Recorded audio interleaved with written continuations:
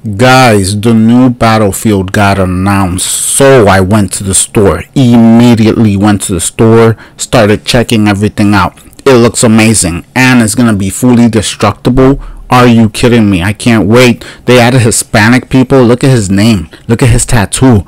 And they added dogs. Turret dogs. That's gonna be devastating. Look at it. Look how amazing and crazy it's gonna get. And they added tornadoes with well you could ride tornadoes now.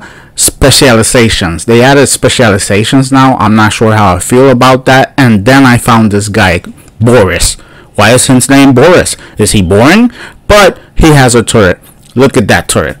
Guys come on. So i went back to the store. I went back to the store started checking out the pre-orders the pre-orders they look kind of expensive to be honest. I'm not sure what i'm gonna pre-order but let's check out the pre-order bonuses. What do they give you? So they give me a dinosaur. Like i'm five years old a t-rex. I don't want a dinosaur but it has open beta so i can't wait. I'm a battlefield guy and i'll see you guys there because i'm not gonna miss this